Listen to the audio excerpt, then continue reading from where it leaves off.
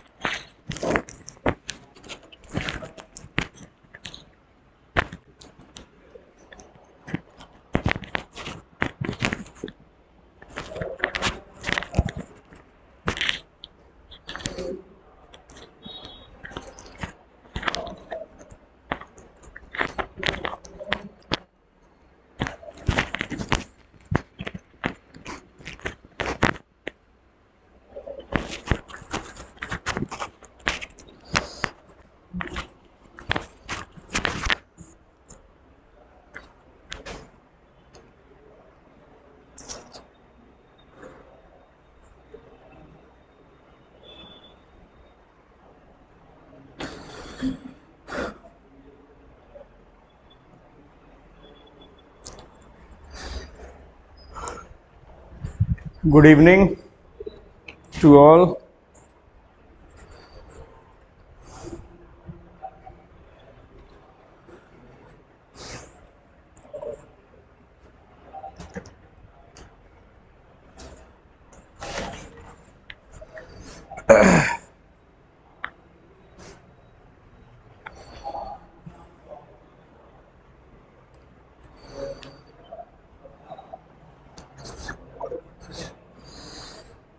good evening भाई, good evening.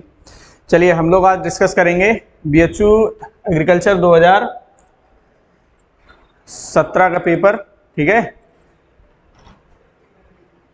हम लोगों ने पिछली बार डिस्कस किया था, पिछली क्लास में डिस्कस किया था 18 2018 का, ठीक है?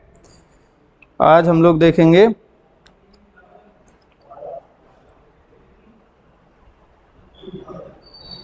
सत्रह वाला, ठीक है? चलिए तो शुरू करते हैं।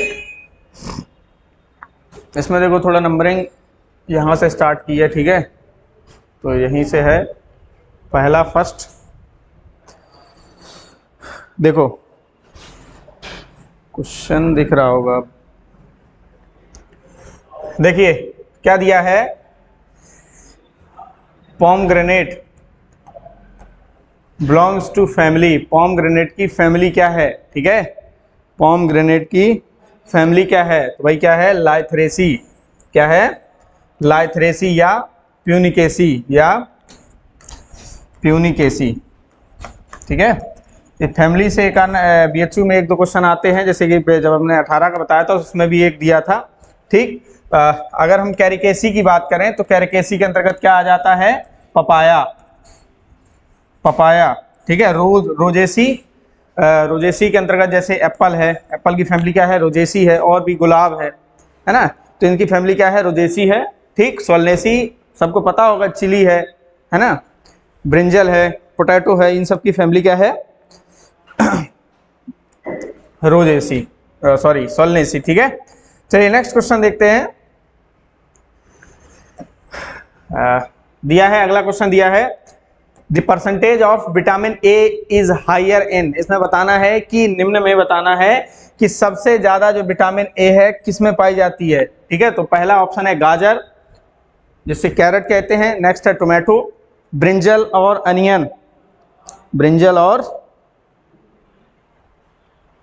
अनियन ठीक है? तो भाई क्या होगा? सबसे ज़्यादा विटामिन विटामिन ए किसमें पाई जाती है? गाजर में. सबसे ज़्यादा विटामिन ए किसमें पाई जाती है? गाजर में, ठीक है? तो आंसर इसका क्या हो जाएगा भाई? ए ओके चलिए। और इसका वैज्ञानिक नाम क्या है गाजर का? डाकस कैरोटा इसकी फैमिली भी याद रखना, क्योंकि पूछी जाती है इसकी। नेक्स्ट है, देखो, कल भी कल भी मैंने ये बताया था, Etawah pilot project was started in the year यानी कि इटावा अग्रणी परियोजना जो है, वो किस वर्ष शुरू की गई है? कल हमने कुछ प्रोग्राम बताए थे, ठीक है? तो जैसे उसमें भी बताया था मैंने, इटावा पायलट प्रोजेक्ट कब स्टार्ट हुआ था? तो 1948 में किसके द्वारा? अल्बर्ट मेयर, है ना? तो और भी जैसे आईआरडीपी को याद रखना है, हम फिर से बता देते हैं आईआरडीपी 1980 ठीक है? NES national extension service 1953 CDP CDP का पूरा फुल फॉर्म क्या है? कम्युनिटी डेवलपमेंट प्रोग्राम 1952 ठीक? ट्राइजेम ट्राइजेम, ठीक है? ट्राइजेम कब स्टार्ट हुआ था? 1979 एक और चलाया गया था प्रोग्राम 1979 में, जिसे कहते हैं lab to land programme. Lab to land programme, ठीक है? ये कब चलाया गया था? 1979 में। किसके द्वारा? आईसीआर के द्वारा। आईसीआर के द्वारा, ठीक है? तो कुछ ये इंपॉर्टेंट प्रोग्राम है जिनको याद रखना है। एनएटीपी भी याद रखना है। आईवीएलपी याद रखना है, ठीक है? जो भी, जो कि पूछे जाते हैं ये। ओके चलिए। नेक्स्ट क्वेश्चन ये हो गया, ये भी याद रखना है भाई इटावा पायलट प्रोजेक्ट किसके द्वारा चलाया गया था? तो अल्बर्ट मेयर के द्वारा, ठीक है? अल्बर्ट मेयर के द्वारा। नेक्स्ट देखो, ये क्वेश्चन दिया है। अभी बताया है IRDP integrated rural development programme तो ये कब स्टार्ट हुआ? किस वर्ष शुरू हुई? 1980 में, है ना? इम्प्लीमेंट 1980 में किया गया था। और ये प्रोग्राम का जो प्रोफार्मा है वो तैयार हो गया था 1978 में, ठीक है? तो स्टार्ट स्टार्ट पूछ रहा है है ना? तो क्या इम्प्लीमेंटेशन कब हुआ था इसका? 1980 में। तो इसका आंसर जो एग्जैक्ट सही आंसर होगा वो क्या होगा? 1980 ठीक है? चलिए। अगला क्वेश्चन नेक्स्ट है आई सी दी आई सी आर आई सी आर के द्वारा एक इंस्टीट्यूट संस्थान की स्थापना की गई है, जिसका नाम है Indian institute of pulse research short में कहते हैं आई आई पी आर तो ये कहाँ पे स्थित है? कानपुर, उत्तर प्रदेश। कानपुर, उत्तर प्रदेश। ठीक है?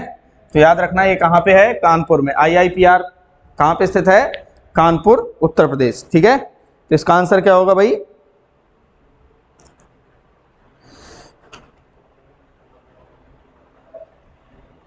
चलिए, नेक्स्ट। अगला क्वेश्चन देखते हैं। इसमें क्वेश्चन दिया है which of the following state cultivate rice in rabi season also इसमें बताना है कि कौन सा ऐसा स्टेट है जहाँ पर जो धान है, वो रबी सीज़न में भी ग्रो किया जाता है। ठीक है? निम्नलिखित में से कौन सा राज्य रबी सीज़न में भी धान की खेती करता है? बात एक ही। है तो पहला ऑप्शन है उड़ीसा, पंजाब, मध्य प्रदेश और उत्तर प्रदेश।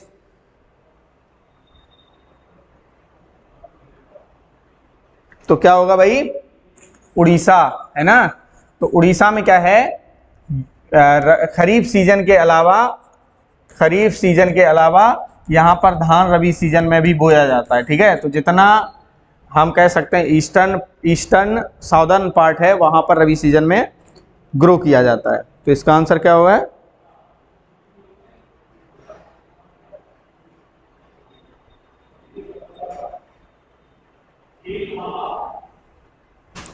ठीक है? इसका आंसर क्या हो जाएगा? फ़र्स्ट चलिए अगला। दिया है open pollination takes place in किस फ़सल में पर परागण होता है? देखो क्वेश्चन क्या दिया है? किस फ़सल में पर परागण होता है? तो ये भी क्वेश्चन हम पे, ये पूछा गया है, ये डिस्कस कर चुके हैं ओल्ड पेपर में, ठीक है? तो इसका आंसर क्या होगा भाई? पी क्या होगा? सॉरी मेज क्या होगा? मेज है ना? क्रॉस पॉलिनेशन किसमें होता है?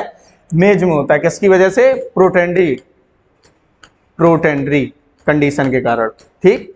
प्रोटेंड्री क्या होती है? ये एक डाइकोगेमी का प्रकार, देखो डाइकोगेमी जो होता है, एक कंडीशन होती है जो कि प्रमोट करती है क्रॉस पॉलिनेशन को। उसको कहते हैं डाइकोगेमी, है ना? ये एक कंडीशन होती है डाइकोगेमी।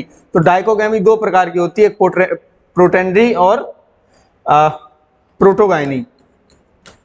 प्रोटोगाइनी, है ना? तो ये क्या है? प्रोटेंड्री, कंडीशन क्या होती है? जब मेल फ्लावर जो है मेल फ्लोरोसेंस पहले मैच्योर हो जाए, किसकी? फीमेल की अपेक्षा, है ना? तो प्रोटेंडी कंडीशन कहलाती जस्ट अपोजिट होता है प्रोटोगाइनी में, है ना? तो प्रोटोगाइनी में क्या होता है? फीमेल पहले मैच्योर होता है तो प्रोटोगाइनी कंडीशन जो है, वो किसमें पाई जाती है? बाजरा में। ठीक है? किसमें पाई जाती है भाई? बाजरा, जिसे पर रिबलेट कहा जाता है। दोनों को याद रखना, ठीक है? तो ये क्या करती है? डाइकोगेमी किसको प्रमोट करती है? क्रॉस पॉलिनेशन को, ठीक है? किसको प्रमोट करती है? क्रॉस पॉलिनेशन को। चलिए, अगला क्वेश्चन नेक्स्ट क्वेश्चन दिया है which of the following crops is amphidiploid तो इसमें बताना है, निम्नलिखित में से एम्पी डिप्लॉयड फ़सल कौन सी है? एम्पी डिप्लॉयड या टेट्राप्लॉयड टेट्राप्लॉयड को ही क्या कहते हैं? एम्पी डिप्लॉयड है ना? जिसमें प्लाइडी लेवल कितना हो? चार गुना हो, है ना? या हम कह सकते हैं, जिसमें बेसिक क्रोमोजोम कितने हो? चार गुना हो। ठीक है बेसिक क्रोमोजोम जिसे या मोनोप्लाइड ठीक है? अगर हम इसमें एन देखेंगे, कोई भी स्पीसीज एन देखेंगे तो एन क्या होता है? टू एन का आधा होता है, या सोमेटिक क्रोमोजोम का आधा। तो टेट्राप्लाइड का आधा क्या हो जाएगा? डिप्लाइड ठीक है? तो टेट्राप्लाइड स्पीसीज इसमें किसकी है? वीट की, है ना? किसकी है? वीट की। ट्रिटकम ड्यूरम है ना? ट्रिटकम ड्यूरम क्या है? एक टेट्राप्लाइड वैरायटी है, जिसमें गुणसूत्र की संख्या होती है 28 कितनी होती है भाई? 28 तो इसको ऐसे लिख सकते हैं हम लोग। 4x बराबर कितना? 28 तो अगर हम मोनोप्लाइड की संख्या देखेंगे तो x बराबर कितना आएगा? सेवन। अगर हम यहाँ पे n बराबर देखेंगे तो n बराबर क्या होता है? सोमेटिक क्रोमोजोम का क्या होता है ये? आधा होता है। ठीक? तो आधा कितना हो जाएगा? चौदह। तो n की संख्या, हेप्लाइड की संख्या क्या हो जाएगी? चौदह। और x या मोनोप्लाइड की संख्या क्या हो जाएगी? सेवन। ठीक है? तो टेट्राप्लाइड को ही क्या बोलते हैं? एम्पी डिप्लॉयड बोलते हैं। ओके? तो वीट की एक स्पीसीज एक, दो स्पीसीज ऐसी हैं जो कि क्या है टेट्राप्लॉयड है ओके और जो कि मोस्टली जो ट्रिटकम एस्टोबम ग्रो की जाती है, वो क्या होती है हेक्साप्लाइड होती है, याद रखना। वो क्या होती है हेक्साप्लाइड होती है, सट है ना? तो मोनोप्लाइड इसमें कितने होते हैं, छह गुना होते हैं। चलिए, अगला सवाल। देखो, ये क्वेश्चन को सर्च कर लेना भैया ना? देख लेना। कि क्या दिया? Present vice chancellor of central agriculture university Imphal है ना? तो उस समय ये 2017 का पेपर है। तो 17 में कौन थे? उससे हमें कोई मतलब नहीं है अब। लेकिन प्रेजेंट समय कौन है? तो उनको सर्च कर लेना, है ना? ये आपका काम है। इसको वेबसाइट पे जाके चेक कर लेना। चलिए। अगला सवाल है रीजनल रूरल बैंक आरआरबी ये भी देखो, पिछली बार डिस्कस कराया था। आरआरबी तो इसमें दिया है आरआरबी जो है, भारत में कब स्थापित की गई है? आरआरबी की स्थापना जो है भारत में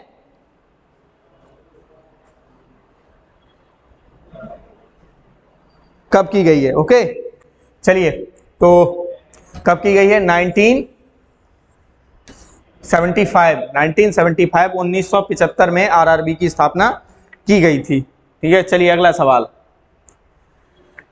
नेक्स्ट दिया है which of the following which of the following crop is suitable for light soil हल्की मृदा में उपयुक्त कौन सी फ़सल हम हल्की मृदा में ग्रो कर सकते हैं आसानी से? हल्की मृदा देखो, इसको समझ लो पहले। एक इससे क्वेश्चन पूछा जाता है ना? तो according to tillage hindrance the soil divided into two part दो भागों में बांटी गई है। पहली हैवी सॉइल है ना? टिलेज हेंड्रेंस के आधार पे दो हैवी सॉयल और लाइट सॉइल ठीक है? हल्की मृदा और भारी मृदा। लाइट सॉइल हैवी को कहेंगे भारी और लाइट को क्या कहते हैं? हल्की मृदा, ठीक है? तो हैवी का मतलब है कि देखो, जिस सॉइल में जुताई करते समय फोर्स ज़्यादा लगे, खिंचाव ज़्यादा लगे, वो हैवी मृदा और जिसमें खिंचाव कम लगे, वो हल्की मृदा। अगर देखो, अगर हम चिकनी मिट्टी को जोते हैं, है ना? चिकनी मिट्टी को, चिकनी या क्ले सॉइल में हम अगर जुताई करें तो फोर्स ज़्यादा लगता है। तो जिसमें देखो क्ले कंटेंट ज़्यादा होता है, जिसमें क्ले कंटेंट ज़्यादा होता है, वो हैवी सॉइल कहलाती है और जिसमें सैंड सैंड की मात्रा ज़्यादा होती है है ना? सैंड या बालू की मात्रा ज़्यादा होती है, वो क्या कहलाती है? लाइट सॉइल जैसे सैंडी सॉइल है ना? इसमें अगर हम देखेंगे तो क्ले सिल्ट दोनों आ जाएँगे, ठीक?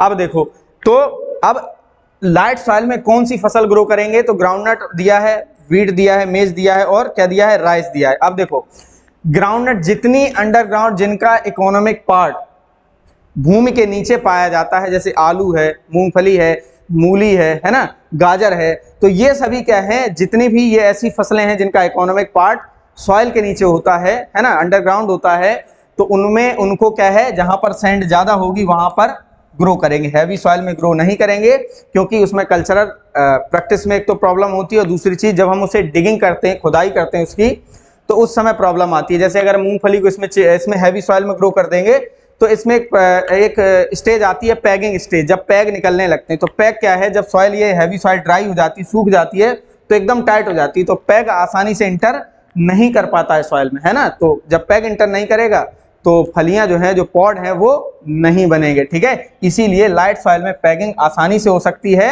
और डिगिंग भी आसानी से की जा सकती है। इसीलिए ऐसी फ़सलें किसमें ग्रो की जाती हैं? लाइट सॉइल में ग्रो की जाती हैं। अगर हम हैवी सॉइल की बात करें तो हैवी सॉइल को तीनों ग्रो कर सकते हैं। इसमें वीट मेज और राइस सबसे ज़्यादा हैवी सॉइल में कौन सी ग्रो करते हैं?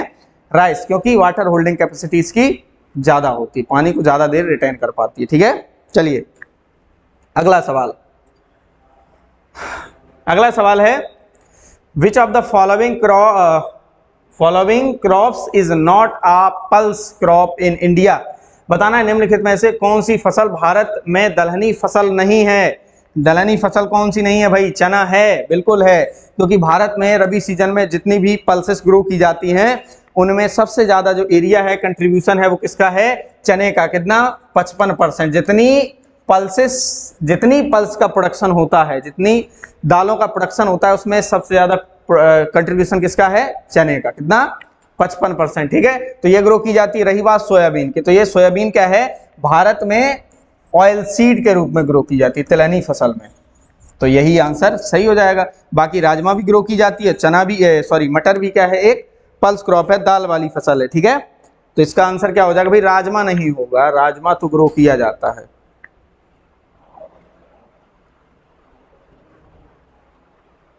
सोयाबीन, ठीक है? ये ऑयल सीड के रूप में ग्रो की जाती है। याद रखना। ऑयल सीड ओके यही होगा आंसर इसका। दाल नहीं बनाई जाती इसकी। सोयाबीन की दाल कभी खाई है भाई, है ना? तो क्यों फिर?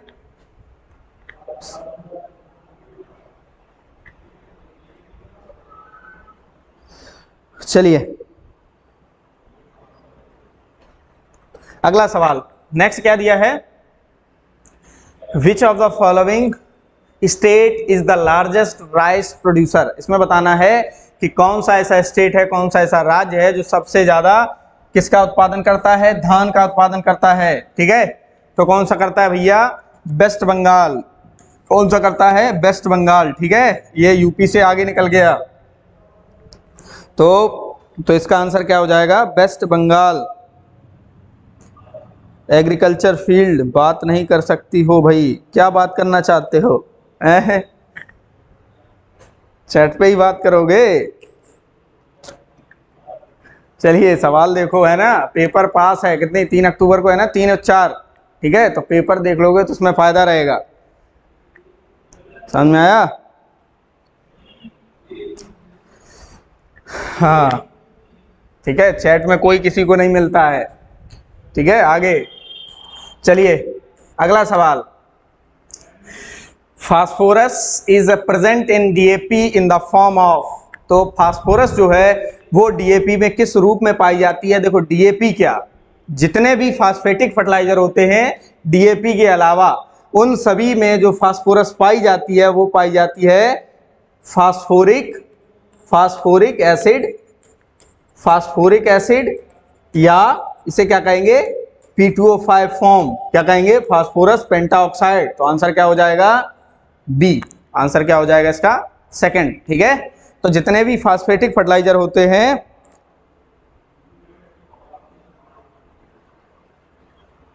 अच्छा पोस्टपोन्ड हो गया है, तभी बात कर रहे हो। ठीक है, कब तक हुआ है? है ना? भाई पोस्टपोन्ड हुआ है सिलेक्शन नहीं हुआ है अभी, ठीक है? चलिए, अगला सवाल। नेक्स्ट दिया है तो उसका आंसर क्या हो जाएगा भाई? फास्फोरिक एसिड ठीक है? जितने भी फास्फेटिक फर्टिलाइज़र होते हैं, उनमें सबसे जो फास्फोरस पाई जाती है, वो किसमें पाई जाती है? पी के रूप में पाई जाती है।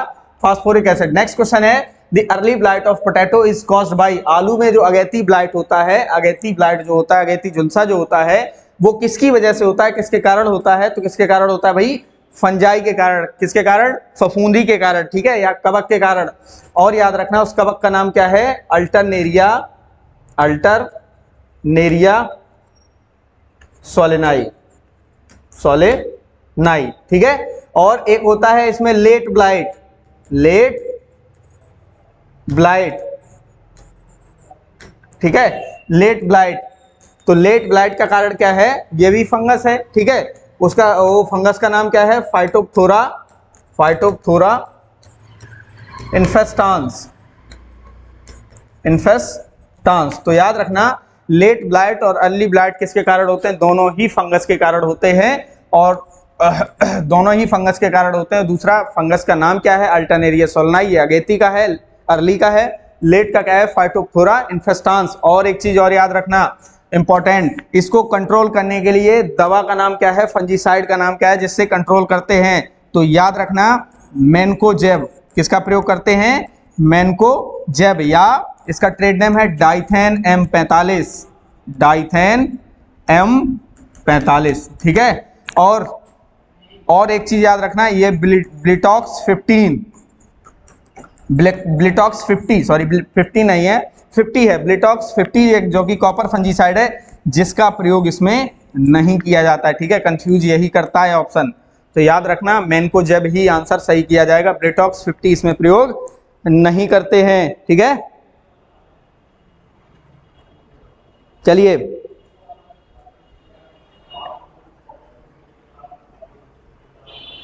अगला सवाल, ठीक है?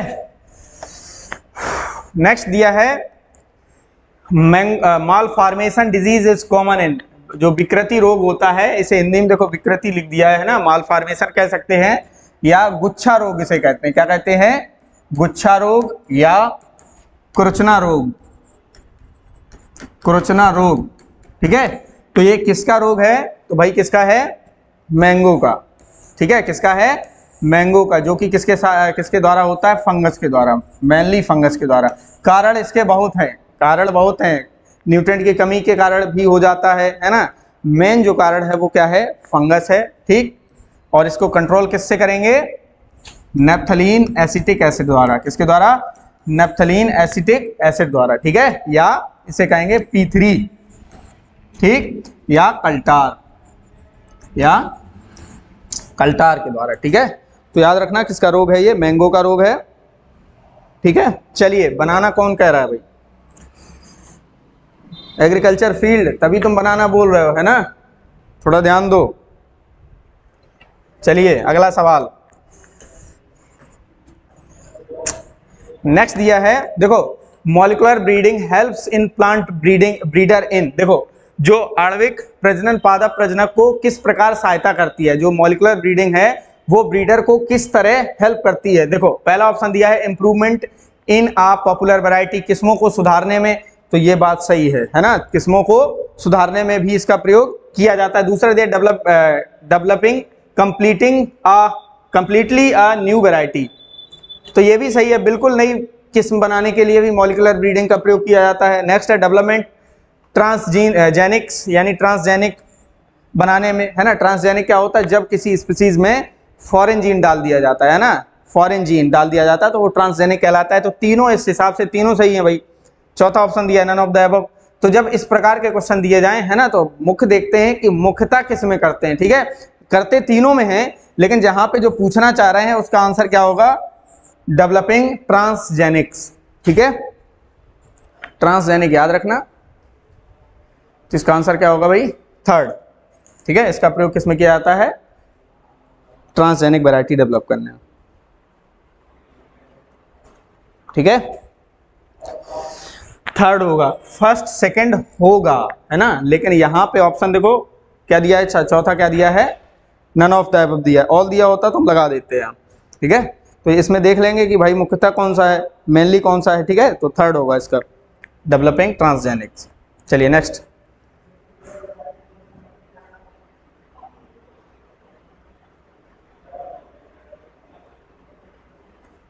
अगला क्वेश्चन है। नेक्स्ट क्वेश्चन दिया है। Alternaria blight in mustard is caused by सरसों में जो पर्ड अंगमारी है, वो किसके कारण होता है? ठीक है? देखो ऑप्शन है बैक्टीरिया वायरस फंगस या निमेटोड तो ये किसके कारण होता है? अल्टरनेरिया ब्लाइट फंगस के कारण। फंगस का नाम क्या है? अल्टरनेरिया ब्रेसिकी अल्टरनेरिया ब्रेसिकी है ना? ये फंगस का नाम है। अल्टरनेरिया ब्रेसिकी ठीक है? तो ये इसी का डिज़ीज़ है। किसका डिज़ीज़ है? ये मस्टर्ड का डिज़ीज़ है। चलिए, ठीक है? तो इसका नाम याद रखना, फंगस का नाम याद रखना अल्टरनेरिया ब्रेस्की, ठीक है? चलिए नेक्स्ट ये देखो, ये क्वेश्चन पिछले पेपर में भी डिस्कस कराया था शायद, है ना? उसको देखना। क्या दिया है? The food prepared by leaves are transported to all parts of the plant by यानी कि जो पत्तों द्वारा बना खाना है, जो फ़ूड है फोटोसिंथेट्स जो बना है, किसके द्वारा? किस प्रोसेस के द्वारा? फोटोसिंथेसिस द्वारा, ठीक है? तो सभी अंगों में पौधों के सभी अंगों में भेजे जाते हैं किसके द्वारा? तो देखो, जाइलम का काम क्या होता है? वाटर का ट्रांसपोर्टेशन करना, है ना? वाटर का फ्लोएम का काम क्या होता है? जो फोटोसिंथेट्स बना है, जो फ़ूड बना है, उसको। तो इसका आंसर क्या हो जाएगा भाई? फोटोसिंथेट्स या फ़ूड ठीक? तो इसका आंसर क्या हो जाएगा? सेकेंड तो ये काम किसका होता है? फ्लोएम का काम होता है। किसका काम होता है? फ्लोएम का, ठीक है? तो आंसर क्या हो जाएगा? सेकेंड चलिए, अगला।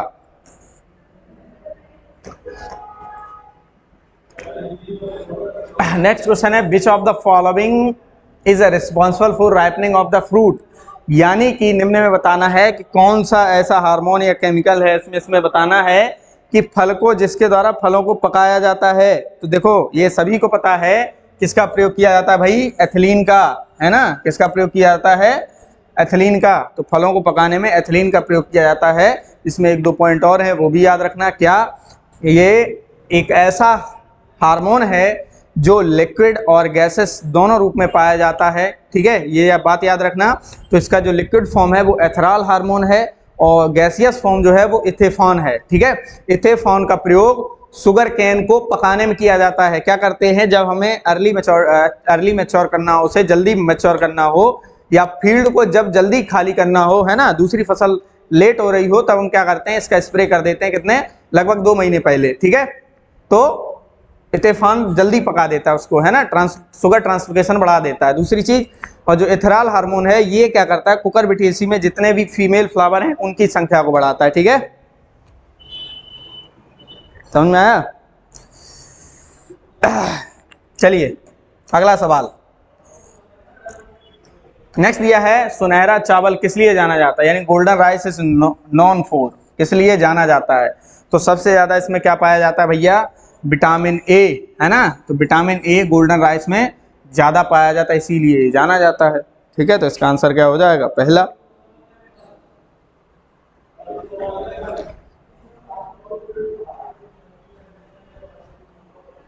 ठीक है?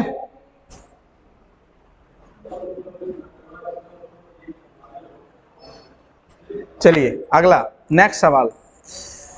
नेक्स्ट क्वेश्चन क्या है? Mallika is a variety of ये देखो पिछले पे तीन पेपर में लगातार पूछी गई है मल्लिका, है ना? देखो, मल्लिका किसकी है? मैंगो की है, ठीक? अगर हम इसकी क्रॉस की बात करें तो इसका क्रॉस क्या होगा? नीलम नीलम इंटू दशहरी, क्या होगा? नीलम इंटू दशहरी, ये किसका क्रॉस है? मल्लिका का। अगर हम बात करें आम्रपाली का तो आम्रपाली का क्या होता है? दशहरी इंटू नीलम, है ना? तो दोनों का याद रखना, ये बड़ा कंफ्यूज करते हैं भाई, ठीक है? तो आम्रपाली का और मल्लिका का। और एक चीज़ और याद रखना, जो आम्रपाली का क्रॉस है है ना? जो आम्रपाली की, जो आम्रपाली वैरायटी है, ये यूज़ की जाती है हाई डेंसिटी प्लांटिंग में। हाई डेंसिटी प्लांटिंग में मतलब कम एरिया में इसके ज़्यादा पौधे लगा सकते हैं, क्योंकि इसके जो पौधे होते हैं, वो कैसे होते हैं? ड्वार्फ होते हैं। पौधे कैसे होते हैं इसके? ड्वार्फ होते हैं, ठीक है? तो दोनों का क्रॉस याद रखना। देखो, याद करने का एक तरीका होता है। जैसे इसको याद कर सकते हैं हम डीएनए है ना? डीएनए सबने सुना होगा। दशहरी नीलम से बनेगा क्या? आम्रपाली। ठीक? अब ये इसका क्रॉस क्या हो जाएगा? एन डी एम है ना? तो एक याद कर लो। दूसरा अपने आप याद हो जाएगा इसका उल्टा। ये, ठीक है भाई? चलिए नेक्स्ट दिया है नेक्स्ट क्वेश्चन दिया है if a gene from fish introduce into rice then then this rice plant will be known as यानी कि जो यदि धान के पौधे मछली का एक जीन डाल दिया जाए, किसका? मछली का एक जीन डाल दिया जाए तो वह धान का पौधा क्या कहलाएगा? तो धान का पौधा जो है, वो क्या कहलाएगा? देखो, जब किसी स्पीसीज में या किसी क्रॉप में जब फॉरेन जीन डाल दिया जाता है, जब फॉरेन जीन डाला जाता है तो उसको बोलते हैं ट्रांसजेनिक है ना? तो क्या बोलते हैं भाई? ट्रांसजेनिक प्लांट जो अभी बताया था थोड़ी देर पहले तो इसका आंसर क्या हो जाएगा? ट्रांसजेनिक प्लांट ठीक? तो सबसे पहले जो ट्रांसजेनिक डेवलप किया गया था, वो किया गया था टोबैको का, है ना? किस पे? टोबैको पे, ठीक है? फ्रेले ने डेवलप किया था तो इसको याद रखना। सबसे पहली जो ट्रांसजेनिक फ़सल है, वो कौन सी है? टोबैको आंसर क्या हो जाएगा? टोबैको अगर पूछा जाए आपसे, भारत में सबसे ज़्यादा ट्रांसजेनिक फ़सल कौन सी ग्रो की जाती है? कॉटन ठीक है, कौन सी ग्रो की जाती है? कॉटन जिसे कहते हैं क्या? बीटी कॉटन बीटी कॉटन सबसे ज़्यादा एरिया इसी का है। या हम कह सकते हैं, भारत में एक ही क्रॉप अलाउ की गई है ट्रांसजेनिक फ़सल ग्रो करने के लिए, ठीक है? और बीटी का फुल फॉर्म याद रखना बेसिलस थ्यूरीजेनेसिस बेसिलस थ्यूरीजेनेसिस जो कि क्या है? एक सॉइल बैक्टीरिया है। क्या है? एक सॉइल बैक्टीरिया ठीक है? इसमें क्या पाई जाती है? इंसेक्टिसाइडल प्रॉपर्टी पाई जाती है इसमें, ठीक है? इंसेक्टिसाइडल प्रॉपर्टी पाई जाती है। चलिए तो सबसे ज़्यादा अगर ट्रांसजेनिक का एरिया पूछा जाए तो किसका है? बीटी कॉटन का। अगर वर्ड में पूछा जाए वर्ड में पूछा जाए तो सोयाबीन का, ठीक है? चलिए, अगला सवाल। नेक्स्ट क्वेश्चन दिया है the crops belongs to bras brassica juncea है ना? तो ब्रेस्का जेंसिया क्या है भाई? सरसों है। क्या है? सरसों। तो आंसर क्या हो जाएगा? थर्ड राई ठीक है? ब्रेस्का जंसिया जो मस्टर्ड है राई है, इसका वैज्ञानिक नाम क्या होता है? ब्रेस्का जंसिया। ठीक है?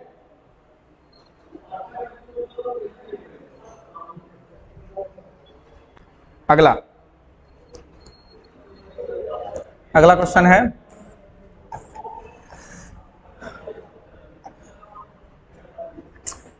दिया है।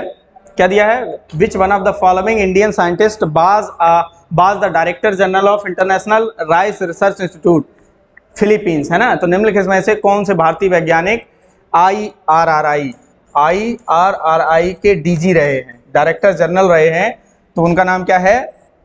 डॉक्टर एम एस स्वामीनाथन है ना? तो ये ये R R I R R I के क्या रहे हैं? डीजी रहे हैं, ठीक है? इसको याद रखना, ये इंटरनेशनल राइस रिसर्च इंस्टीट्यूट कहाँ पे स्थित है? फिलीपींस मनीला ठीक है? चलिए। अगला। म्यूटेशन इज़ जनरली, म्यूटेशन जो होता है, वो प्राय कैसा होता है? तो जो म्यूटेशन होता है, देखो पिछली बार भी हमने डिस्कस किया था, ठीक है? तो ये क्या होता है? रिसेसिव एंड हार्मफुल होता है। तो 99.99 परसेंट ये क्या होता है? हार्मफुल होता है, ठीक है? हार्मफुल होता है, और ये रिसेसिव होता है मोस्टली, ठीक है? डोमिनेंट, क्योंकि इसके ज़्यादा वो जो करेक्टर हैं, वो दिखाई नहीं देते हैं, या और यूज़फुल कितना होता है? Zero point zero one percent इतना यूज़फुल होता है? यूज़फुल ठीक है? ये क्वेश्चन दो दो तीन बार पूछा गया है। रिसेसिव एंड harmful नेक्स्ट है who is the who is regarded as father of hybrid rice यानी कि कौन संकर धान का जनक जनक माने जाते हैं ना? तो इनकी मृत्यु हो चुकी है, जो युवान लॉन्ग पिंक है बाइयल पिंक जिसे शॉर्ट में कहते हैं बाइयल पिंक इनकी डेथ हो चुकी है ना? ये कहाँ के हैं? चाइना के। इन्हें क्या कहा जाता है? हाइब्रिड आइस का फादर कहा जाता है, पिता कहा जाता है, ठीक है? तो आंसर क्या हो जाएगा इसका? बी नेक्स्ट मेंडल को तो सभी पता होगा भाई फादर ऑफ़ जेनेटिक्स नेक्स्ट है। Which of the following is known as power house of cell power house of cell किस, किसको कहा जाता है तो सबको पता है है ना? इसको भाई बताने की ज़्यादा ज़रूरत नहीं है। तो माइट्रोकांडिया क्या कहते हैं? Power house of cell mitochondria क्या बोला जाता है? पावर हाउस ऑफ़ सेल ठीक है? चलिए नेक्स्ट अगला क्वेश्चन दिया है, देखो which of the following is use as a bio fertiliser जैविक खाद के रूप में कौन सा प्रयुक्त होता है? इसमें जैविक खाद के रूप में प्रयुक्त होता है क्या? राइजोबियम कल्चर ट्राइकोडर्मा या एजोला या ऑल ऑफ़ द एब ठीक है? तो देखो बायो फर्टिलाइज़र के जो फॉर्म में प्रयोग करते हैं, वो सबको करते हैं इसमें। राइजोबियम कल्चर का भी किया जाता है ट्राइकोडर्मा का भी किया जाता है, और एजोला का भी बायो फर्टिलाइज़र के रूप में प्रयोग किया जाता है, ठीक है? तो आंसर क्या हो जाएगा इसका? ऑल ऑफ़ द एबब है ना? नेक्स्ट है यूरेसिल इज़ प्रेजेंट इन तो यूरेसिल किसमें? आरएनए में पाया जाता है। ठीक है? यूरेसिल किसमें पाया जाता है? आरएनए में। ये थाइमिन की जगह लेता है ना? डीएनए में थाइमिन पाया जाता है। ओके चलिए नेक्स्ट नेक्स्ट क्वेश्चन दिया है। Browning symptom in cauliflower is due to deficiency of यानी कि फूल गोभी में भूरापन लक्षण किसकी कमी के कारण आता है? जो ब्राउनिंग हो जाती है कॉलीफ्लावर में, वो किसकी कमी के कारण आती है? कौन सा ऐसा तत्व है जिससे ब्राउनिंग हो जाती है? तो बोरान है, ठीक है? इससे जो याद रखना, जो ये कुल है, कोल क्रॉप्स का जो फैमिली है, कोल क्रॉप्स वाली, उससे, उसके डिसऑर्डर से एक सवाल आता है है ना? कोल क्रॉप्स के डिसऑर्डर से एक सवाल हर बार आता है। तो याद रखना ब्राउनिंग होता है बुरान की कमी से, और जो विप्टेल है वो किसकी कमी से होता है? मॉलिबिडनम की कमी से, ठीक है? तो इसको याद रखना। विप्टेल किसकी कमी से होता है? मॉलिबिडनम की कमी से। ओके क्योंकि एक बार आईसीआर इसका गलत आंसर दे चुका है। मैग्नीशियम दिया था उसमें, है ना? चलिए, अगला। नेक्स्ट है।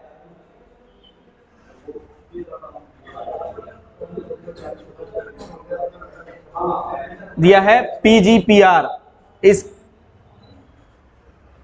कंसर्न विथ बताइए भाई। PGPR.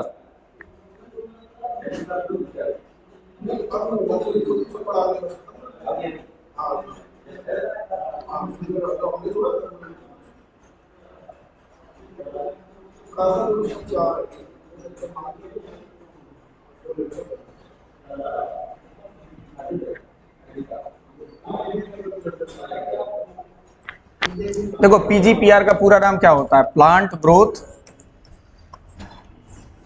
plant, growth, promoting promoting, rhizobacteria rhizo bacteria है ना? ये इसका पूरा नाम होता है, याद रखना। प्लांट ग्रोथ, प्रमोटिंग, राइजोबैक्टीरिया, है ना? तो ये क्या है? राइजोस्फेयर में क्या पाए जाते हैं? बैक्टीरिया पाए जाते हैं ना? तो जो कि जो कि प्लांट की ग्रोथ को क्या करते हैं? प्रमोट करते हैं, है ना? तो देखो राइजोस्फेयर क्या होता है उसको समझ लो। रूट के, जैसे सपोज़ करो ये रूट है है ना? तो रूट के चारों तरफ़ जो एरिया पाया जाता है, रूट के चारों तरफ़ जो एरिया पाया जाता है, उसको क्या कहते हैं? राइजोस्फेयर जोन कहते हैं। क्या कहते हैं? राइजोस्फेयर जोन ठीक है? तो इसका आंसर क्या हो जाएगा? Beneficial bacteria in plant beneficial bacteria in plant ठीक है? तो इसमें क्या है? सबसे ज़्यादा क्या पाए जाते हैं? बैक्टीरिया पाए जाते हैं, जो कि प्लांट की ग्रोथ को क्या करते हैं? प्रमोट करते हैं, ठीक है? तो आंसर क्या हो जाएगा भाई? पहला।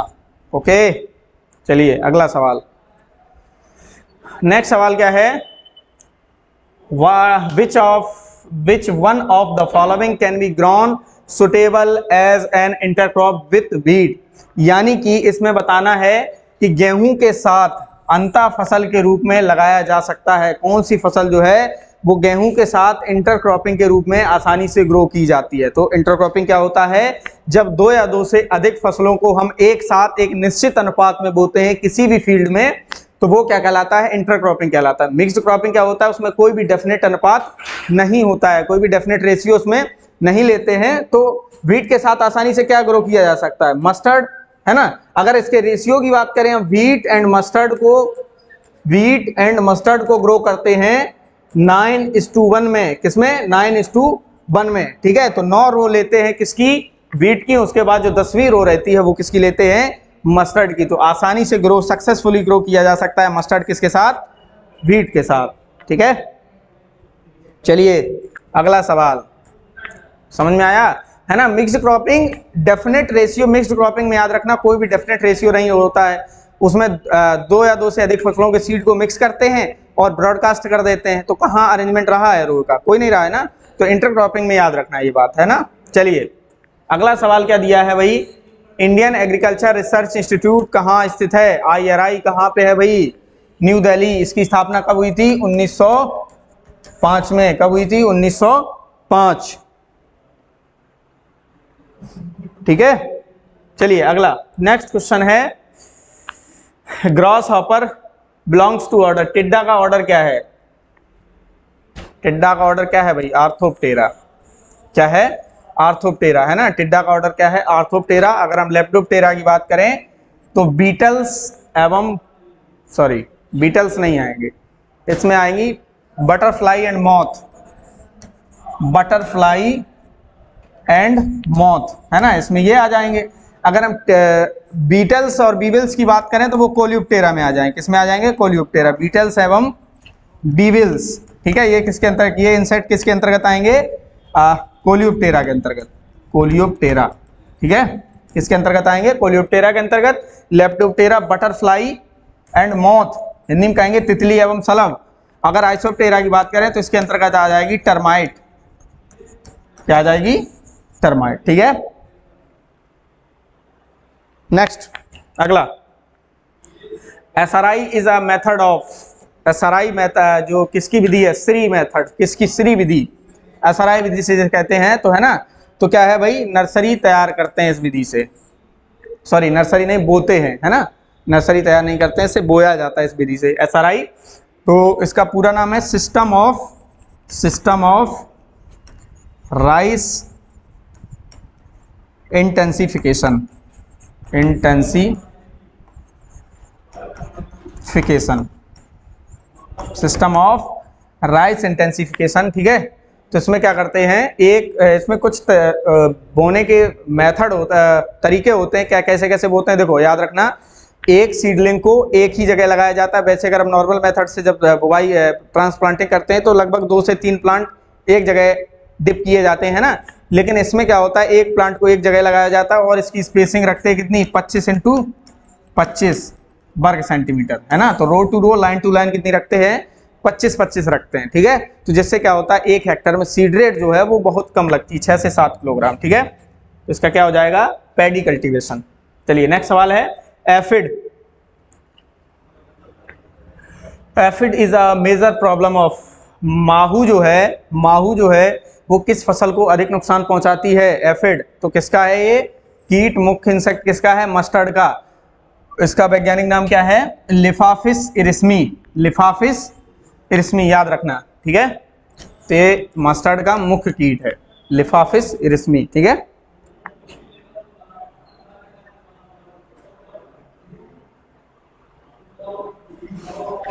चलिए नेक्स्ट सवाल।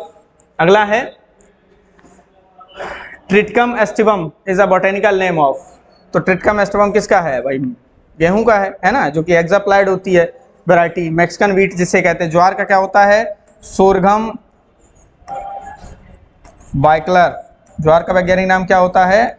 सोरगम वाइकलर ठीक है? वीट का ट्रिटकम एस्टिवम मेज का होता है, जिया मेज जिया मेज और पेडी का क्या होता है? ओराइजा सटाइवा ओराइजा और इसकी सबकी फैमिली क्या है? ग्रेमनी ठीक है? चलिए अगला। नेक्स्ट देखो, ये दिया है। ये क्रॉस दे दिया, है ना? क्या दिया है? नीलम गुण Dashehari are the parents of varieties तो इसमें देखो, नीलम, इसमें नीलम और दशहरी जो है आम के किन किस्मों के माता पिता हैं? तो अभी बताया था, जस्ट दो मिनट पहले, किसके हैं? एक तो मल्लिका के हैं और एक आम्रपाली के हैं। मल्लिका और आम्रपाली तो हम मल्लिका और आम्रपाली किस ऑप्शन में पहले में, ठीक है? तो मल्लिका का क्रॉस क्या हो जाएगा? नीलम इंटू दशहरी और आम्रपाली का क्या हो जाएगा? दशहरी इंटू नीलम, ठीक है? चलिए नेक्स्ट आशीर्वाद, अगला, अगली अगला क्वेश्चन है आशीर्वाद वैरायटी किसकी है?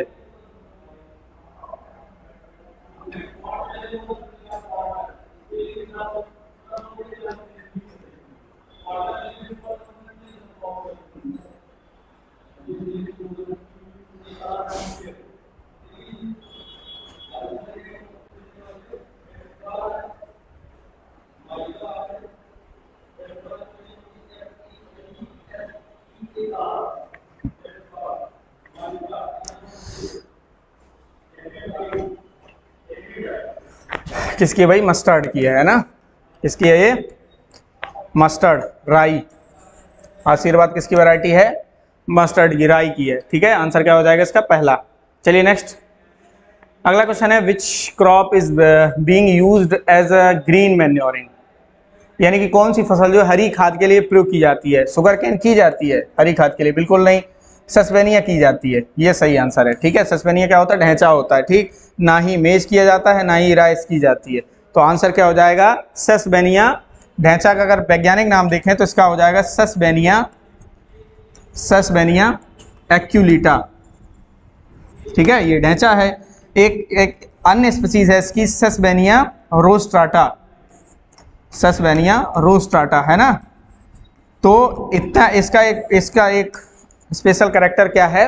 कि इसके स्टेम में भी नोड्यूल पाए जाते हैं, स्टेम एंड लीफ में नोड्यूल पाए जाते हैं, रूट के अलावा, ठीक है? तो ये भी पूछा जा सकता है। तो आंसर क्या हो जाएगा इसका? B.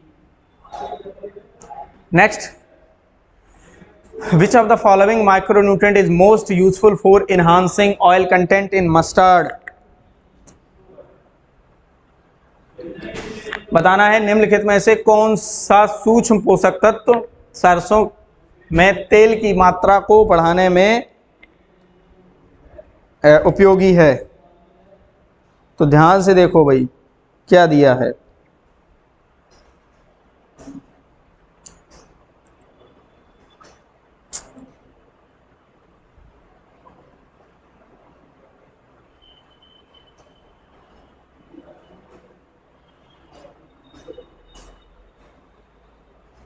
सभी सल्फ़र बता रहे हैं। ध्यान से देखो, क्वेश्चन को ध्यान से पढ़ो। क्या दिया है? सूक्ष्म पोषक तत्व। तो सल्फ़र क्या है? सूक्ष्म है, नहीं है। वो क्या है? मैक्रो न्यूट्रिएंट है। मैक्रो न्यूट्रिएंट है, यानी बृहद पोषक तत्व है। सूक्ष्म नहीं है तो पूछा क्या है? सूक्ष्म। तो जब सूक्ष्म की बात आएगी तो हम क्या लगाएँगे? जिंक। ठीक है? वैसे क्वेश्चन में इन लोगों को देना चाहिए था बृहद पोषक तत्व, क्योंकि ज़्यादा रोल नहीं है इसका। ठीक है? सबसे ज़्यादा रोल सल्फ़र का ही है। ठीक है? तो याद रखना ऑयल बढ़ता तो सल्फ़र से है, लेकिन क्वेश्चन के हिसाब से क्या दिया है यहाँ? सूक्ष्म दिया है भाई सल्फ़र सूक्ष्म हो सकता तो थोड़ी है। सूक्ष्म में कौन कौन से आएँगे? कैल्शियम मैग्नीशियम सल्फ़र हटा दो नाइट्रोजन फास्फोरस हटा दो, और कार्बन हाइड्रोजन ऑक्सीजन हटा दो। इसके अलावा जो आते हैं, वो आते हैं। ठीक है? चलिए, अगला। How much percentage of protein in is available in wheat grains गेहूँ के दानों में प्रोटीन की प्रतिशत मात्रा कितनी होती है? तो कितनी होती है भाई? नौ से तेरह परसेंट। कितनी? नौ से तेरह परसेंट। देखो ऑप्शन बहुत दूर दूर दिए है ना। पंद्रह से बीस तो होगी नहीं नहीं। बाईस से पच्चीस, अट्ठाईस से तीस भी नहीं हो गया ना? तो आंसर क्या होगा? नौ से तेरह परसेंट। इतनी प्रोटीन पाई जाती है गेहूँ में। नेक्स्ट है which of the following crops helps in fixing atmospheric nitrogen into soil इसमें बताना है कौन सी ऐसी फ़सल है जो वायुमंडल की नाइट्रोजन को किसमें स्थिरीकरण करती है? सॉइल में, है ना? तो क्या हो जाएगा भाई? राजमा। क्या हो जाएगा? राजमा। थ्री आंसर सही हो जाएगा, ठीक है? वैसे बेसिकली देखा जाए तो राजमा नाइट्रोजन को फिक्स नहीं करता है। पर हेक्टेयर यानी कि ज़ीरो किलोग्राम करता है। लेकिन लेग्यूम क्रॉप ही नाइट्रोजन को फिक्स करती है राइजोबियम के द्वारा, ठीक है? तो राजमा ही सही होगा। अगर हम वैसे देखें तो इसमें पाए तो जाते हैं, जो बैक्टीरिया पाए तो जाते हैं, लेकिन रूट में नहीं पाए जाते हैं वो, है ना? वो फ्री लिविंग होते हैं सॉयल में रहते हैं, न कि किसमें रहते हैं रूट में रहते हैं। तो राजमा की जो इसमें नोड्यूल तो बनते हैं, लेकिन नॉन इफ़ेक्टिव बनते हैं तो हम इसको यहाँ पे यही आंसर इसका सही किया जाएगा, राजमा भाई राइस सही नहीं किया जाएगा, ठीक है? राइस में नोड्यूल नहीं बनते हैं, याद रखो। तो नाइट्रोजन फिक्स कहाँ से करेगी? For reclamation of alkaline soil be used देखो एल्कलाइन नहीं है, यहाँ पे एल्कली कर लेना। कभी कभी गलत दे दिया जाता है, ठीक है? एल्कलाइन क्या होता है? एक पीएच की रेंज होती है। पीएच की क्या होती है? एक रेंज होती है, यानी कि जिसका पीएच सात दशमलव तीन से अधिक होता है, वो एल्कलाइन कहलाता है, ठीक है? तो एल्कलाइन के अंतर्गत अगर हम बात करेंगे तो सैलाइन भी आ जाएगा। तो सैलाइन में सिर्फ़ लीचिंग कराते हैं, कोई भी सॉयल अमेंडमेंट यूज़ नहीं करते हैं, ठीक है? तो इसलिए यहाँ पे एल्कली होगा। तो एल्कली मृदा को सुधारने के लिए किसका प्रयोग किया जाता है? जिप्सम और पायराइड का प्रयोग किया जाता है। किसका प्रयोग किया जाता है? जिप्सम और पायराइड का लाइम का प्रयोग किसमें किया जाता है? एसिडिक सॉइल में। एसिडिक सॉइल में, ठीक है? एसिडिक सॉइल को करेक्ट करने में। तो याद रखना, एल्कली सॉइल को सुधारने में ही जिप्सम और पायराइट का प्रयोग किया जाता है। सेलाइन सॉइल को सेलाइन सॉइल के अमेंडमेंट में यूज़ करते हैं कौन सा? सिर्फ़ लीचिंग, केमिकल यूज़ कोई नहीं करता, ठीक है? लीचिंग आसानी से कराई जा सकती है उसमें। ठीक है? नेक्स्ट है, रेंज ऑफ़ कोरिलेशन कॉफिशियंट सह संबंध गुणांक की रेंज क्या होती? है माइनस वन से प्लस वन आंसर सेकंड हो जाएगा इसका। नेक्स्ट है Pusa Nanha is variety of which fruit तो पूसा नन्ना जो है, वो किसकी वैरायटी है?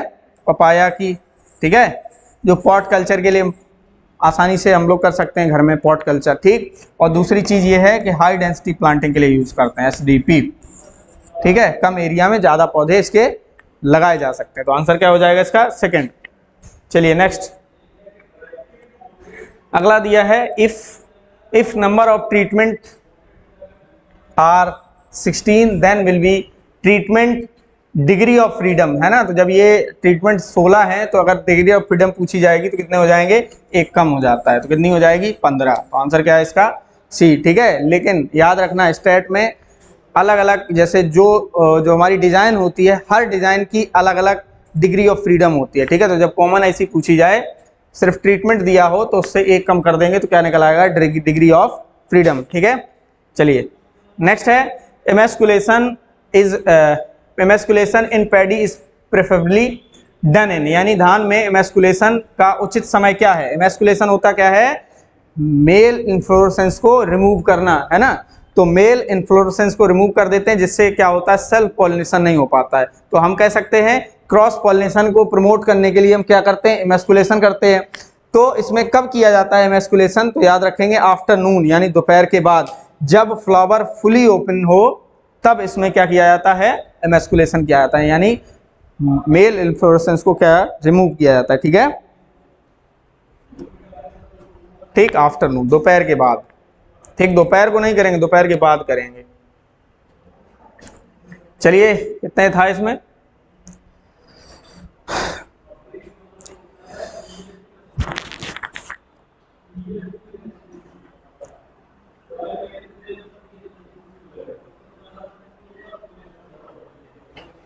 मिलते हैं नेक्स्ट पेपर में।